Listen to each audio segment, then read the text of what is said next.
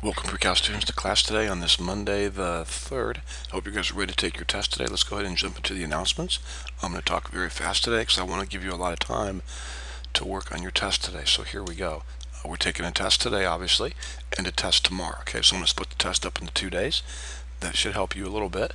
Um, if you're not able to finish the test today in class, be sure and finish it today uh, before the class day, before the day is over. Same thing with tomorrow also. Uh, Wednesday we'll have notes only because I cannot give you homework, exponential functions. Thursday you'll have homework only, exponential functions. Expect a pretty long video on Wednesday since there's no homework. Uh, Friday we will have a quiz. Be thankful we're having a quiz on Friday, okay? Uh, be thankful. It'll be a short quiz, so it should be an easy quiz. We'll have notes on Friday, quiz, word problems about exponential functions, exponential functions, and you'll have homework on Friday, okay? Go ahead and turn in your review sheets now. Please make sure your name is on your review sheets. I'm going to pause just a second while you guys do that. Go ahead and turn in your review sheets. Actually, I'm going to go ahead and go on because you're going to pause the video now, pass out the test, and then restart the video. So go ahead and pause the video, turn in your review sheets, pass out the test, and then restart the video once everyone has turned in their review sheet and has a test on their desk. Please do not turn your review sheet in if you did not do the entire review sheet, okay? Please do not do that. Thank you.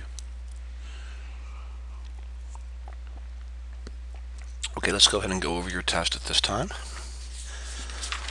Uh, question number one, I'm telling you that sine of x equals 4 sevenths and cosine of x equals negative square root of 33 over 7. Find cotangent of x.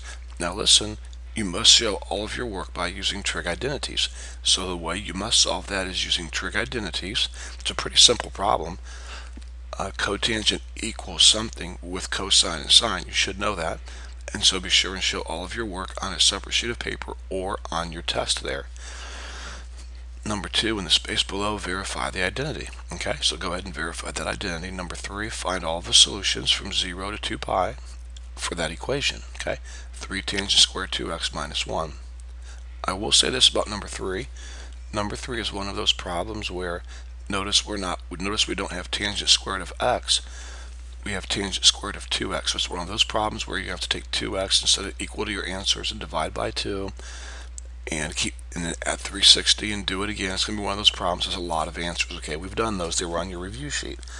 So I want to point that out to you. Number four, uh, once again, solve that equation. Notice, you notice you have a tangent and a cosecant, so you will have to make some substitutions first so that you get the, the entire equation in the same trig function, okay?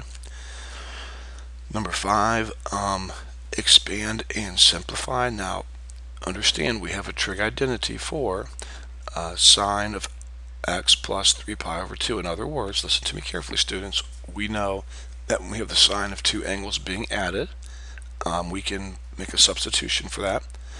And then somewhere throughout that problem, you should have sine and cosine of 3 pi over 2 that's either going to be 0 or 1 when you take sine of 3 pi over 2 or cosine of 3 pi over 2. So be sure and really do a good job of simplifying. Take your time on that and you should be fine.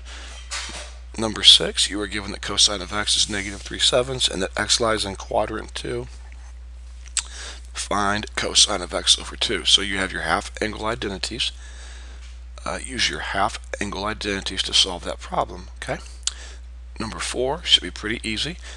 Uh, vector v has an initial point and a terminal point. Find its magnitude and direction angle. I would first personally write it in component form uh, before you try to find its magnitude and direction angle. Number 8, given vector v of magnitude and direction of that angle there, um, and vector w with the given magnitude and given direction, find v plus w, okay? So I would write those in component form personally and then add them together, okay? Have a good uh, day. Get started on your test now, please and uh, you'll, you'll have eight more problems tomorrow on your second test.